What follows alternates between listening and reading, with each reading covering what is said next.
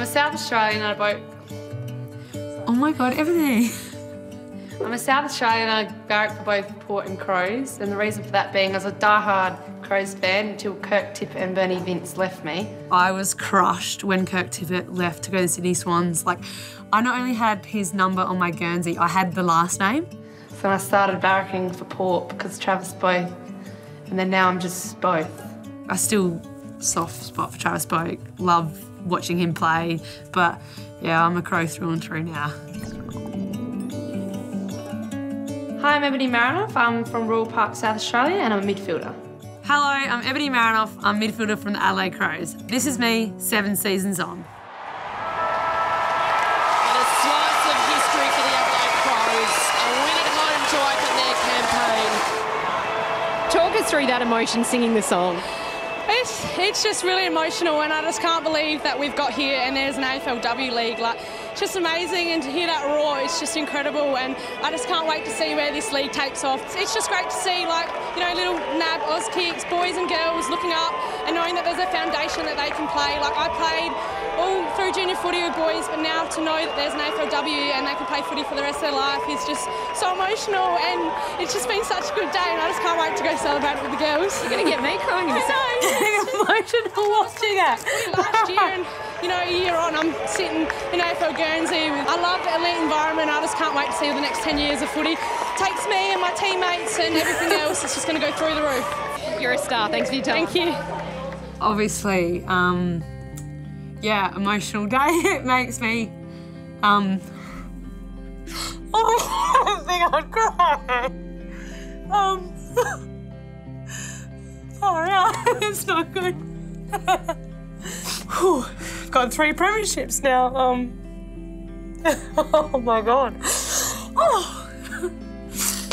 Um, yeah, just obviously playing footy my whole life. Um, yeah, footy, footy meant everything to me. So obviously very emotional in the build up to that day. Yeah, it was packed. I remember that so clearly. Um, but yeah, just pure emotion of the the first ever AFLW game that I played, and looking back, it still brings up those emotions. I, I'm not going to be able to pronounce Gill McLachlan. Gill McLachlan, I've got it. These. Gill McLachlan. Oh my god. If I was the AFL CEO for a day, I would have more women in the AFL workforce. Yeah, we, we need to see more women. It's fantastic to see. I mean, we have Chelsea Randall, who's now in the men's program working as a development coach. So it's, it's a great step, but hopefully we continue to see that sooner rather than later. The best part about playing football would probably be the teamwork. You know, you've always got to work together. It's not a one-person team, you know.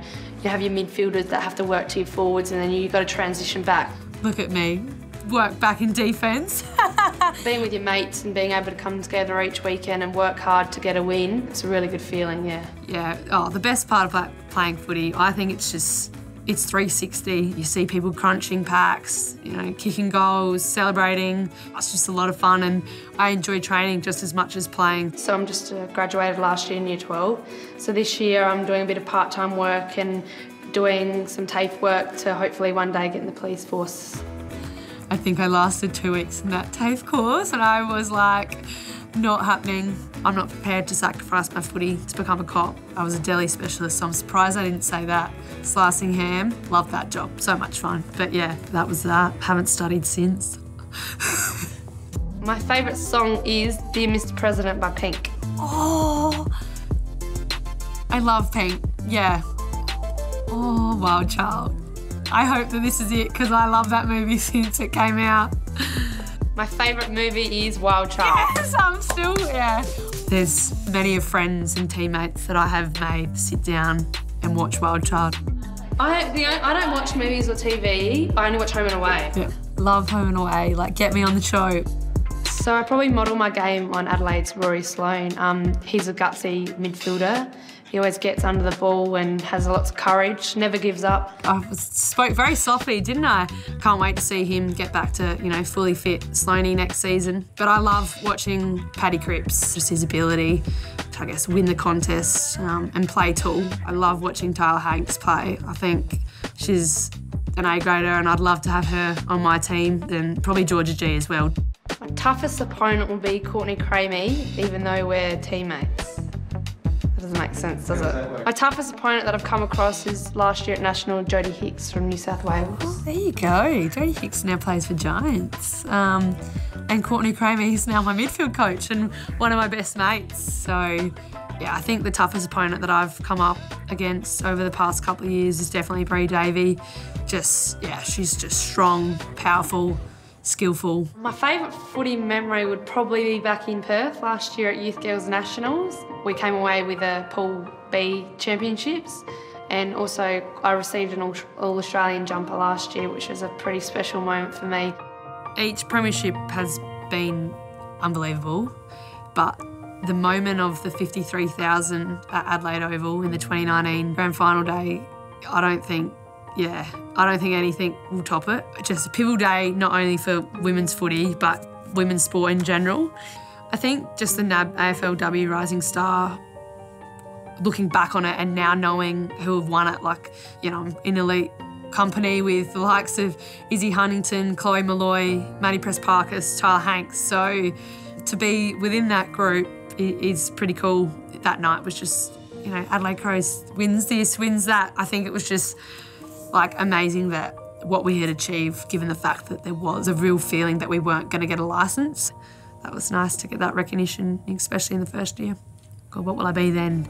I'll be 31, so hopefully I'm at my peak or getting to my peak. I'd love to be a full-time athlete by then. Yeah, playing for the Adelaide Crows, that would be the dream. I think that the NAB AFLW has achieved more, more than we could ever imagine. It's been pivotal um, in the shift of where women are seen not only in sport but in industry. So yeah, I still pinch myself that I'm living living my best life, playing footy, travelling around the countryside and, and playing the game that I love. Thanks to everyone that's I guess been on this ride with us to watch this back and um, yeah, I just feel very lucky. It's gone so quickly, but we've achieved so much as a league. So yeah, pretty amazing.